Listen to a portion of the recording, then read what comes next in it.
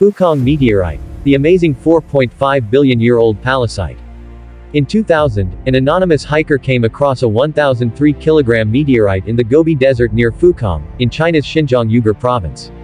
The way the story goes, this hiker had regularly stopped to eat at this rock on his hikes and had grown curious about just what kind of rock it was. The hiker sent pieces of the rock to be examined in the US, where its identity as a meteorite was confirmed. The Fukang meteorite made its public debut at the Tucson Gem and Mineral Show in February 2005. There, it weighed 983 kilograms. The finder had removed approximately 20 kilograms from the meteorite before putting it on display. The Fukang meteorite is a pallasite meteorite. Pallasites are named after a German doctor and naturalist, Simon Peter Pallas, who described the Krasnoyarsk pallasite in 1772. The Krasnoyarsk pallasite was a 700 kilogram meteorite discovered in Krasnoyarsk, Russia in 1772. Stony iron meteorites are made up of approximately equal amounts of silicate materials and nickel-iron metals. Pallasites are a subset of stony iron meteorites.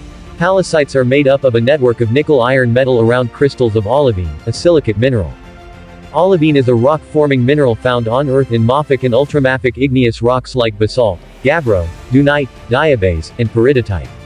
Olivine is the mineral from which the gemstone peridot, August's birthstone, is formed. Earthly olivine is present in the planet's mantle and appears in xenoliths, which are thrown on the surface by volcanic eruptions. But, as we know from the Fukang meteorite, there is extraterrestrial olivine out there, too. Pallasite meteorites containing olivine are said to come from the mantle of a rocky planet that orbited between Mars and Jupiter. If not from a planet, it may have come from an asteroid big enough to have a distinct rock mantle and metallic core, a differentiated asteroid. Pallasite meteorites are exceedingly rare since very few make it all the way through Earth's atmosphere to land on the planet. Some have said that less than 1% of all meteorites are pallasites. How old do we think the Fukang meteorite is? The Fukang meteorite is thought to have come from a planet or differentiated asteroid that was destroyed during the early formation of our solar system, roughly 4,500 million years ago.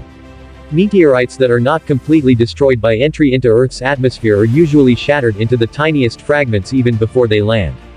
Landing commonly vaporizes any substantial chunks of meteorites that make it that far. The odds against a 1,000 kilogram meteorite making it to Gobi Desert in China to be stumbled upon by an anonymous hiker are stupendous. What has been discovered about the Fukang meteorite? The University of Arizona's Drive Dante Lauretta saw the Fukang meteorite at the 2005 Tucson Gem and Mineral Show. The Fukang meteorite was investigated at the Southwest Meteorite Center, Lunar and Planetary Laboratory at the University of Arizona in Tucson. Their findings were reported in the Fukang Pallasite, Evidence for Non-Equilibrium Shock Processing, in Lunar and Planetary Science 37 2006. The investigators analyzed polished slabs from the meteorite and prepared thin sections of olivine-rich regions of the Fukang. The most noteworthy observation of the macroscopic specimen is its enormous mass and the presence of large olivine clusters, heterogeneously distributed throughout the entire specimen. They range in size from less than 5 mm to several centimeters. Fukang contains several regions of massive olivine clusters up to 11 centimeters in diameter with thin metal veins only a few millimeters in width. Olivines vary in shape from rounded to angular. A subset of the olivine grains are highly fractured and exhibit a cloudy appearance. Other olivines are unfractured and clear. The University of Arizona continues to hold a 31 kilogram specimen of the Fukang meteorite. Their website about the Fukang pallasite describes it as the most spectacular example of natural cosmic splendor. Curator Marvin Kilgore also owns a 31 kilogram specimen of the Fukang meteorite. The embedding of olivine crystals that makes a pallasite a pallasite also makes these meteorites hauntingly beautiful. Slices of the Fukang meteorite held up to light seem to glow as the light passes through the olivines scattered within the nickel-iron matrix. These are not dull lumps, but consist of roughly a 50 to 50 mix of metal and olivine crystals.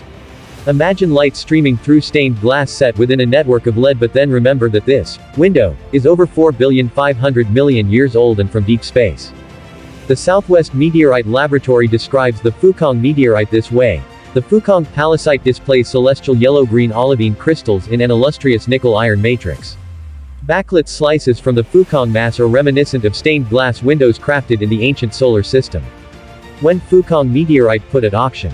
Collectors are eager to acquire slices of the Fukang meteorite. In February 2020, you could purchase 16.7 gram and 17.8 gram fragments of the Fukang meteorite for $584.50 or $623. Smaller pieces are out of stock. In the market for something a little bigger. In April 2008, Bonhams Auction House placed a 420 kilogram mass of the Fukang meteorite up for auction. It was marketed as the world's most spectacular meteorite, a magnificent space gem discovery.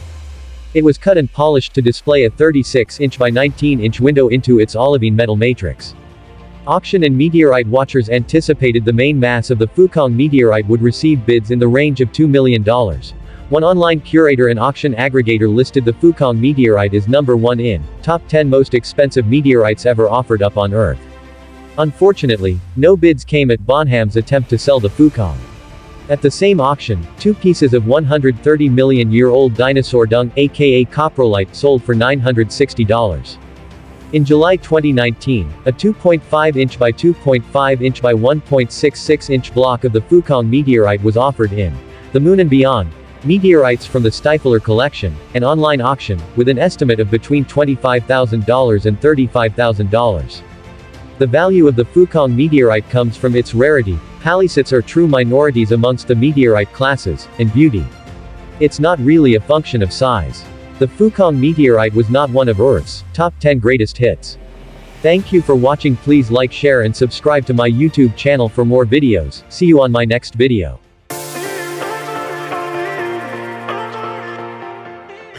Hellcat.